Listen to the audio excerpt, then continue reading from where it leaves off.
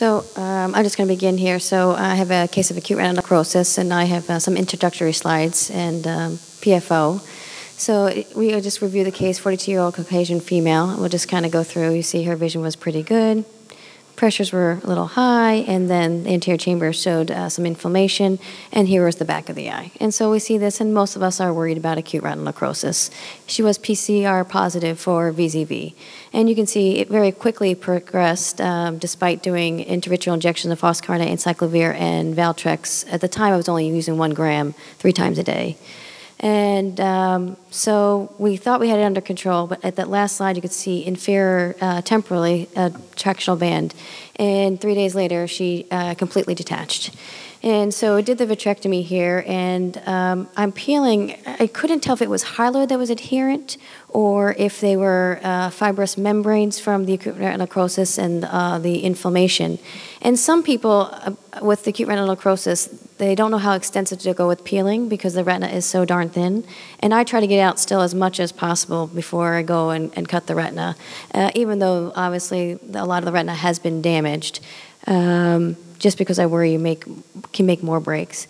Also, people question whether or not to do PFO and acute retinal necrosis detachments because, again, of thoughts of micro breaks that you can't see that are more posterior um, that can cause some issues with subretinal PFO, which you'll see afterwards. Uh, I thought might have been an issue.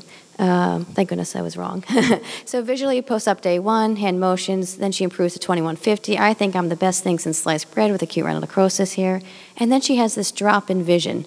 Uh, and then you can go to the next slide. And mysteriously, uh, a PFO bubble appears in the macula. And I was just kicking myself, and I was like, no way, I got all that stuff out. We had a frank discussion because I really, with acute retinal necrosis, did not know what I was going to get with her vision wise, so I didn't want to take her back unless necessary. But unfortunately, she was noting a change in vision. As you can see here, it becomes thinner and thinner and thinner. And again, it did not obviously look subretinal, but something was going on. And she did notice a change. So we, again, we did go back to surgery. So I did go back in, and uh, we, you know, removed the oil that was there. And um, after uh, we did that, you'll see here, uh, it was, it was peel, uh, just wasn't sure, just trying to get it, just trying to get it to move in general. Couldn't get the bubble to move. Um, so I thought, oh, maybe I have to peel. Um, and so we can speed. I don't know if we can speed this up at all, but um, at one point, uh, what you're going to see is with a little bit of movement and using basically taking uh, Nugent and moving the uh, infusion, uh, I got the ball to the ball of PFO to actually move, which made me feel much better. Because again, it did not look subretinal on the OCT. And here's the quote unquote instant replay. I'm, unfortunately, I don't think it shows up as well, but you can see the little ball kind of swirl around, and then thank you, out of the macula. Um, uh, no, actually, I took the infusion, and I had the infusion. I was playing with the infusion, and then uh, used a soft tip to remove it, and then peeled the membrane. Um, I'm not sure where it came from or how it was sequestered, and it was uh, how it had formed. And then again, did more extensive peeling uh, just to make sure there was nothing else that was hiding underneath.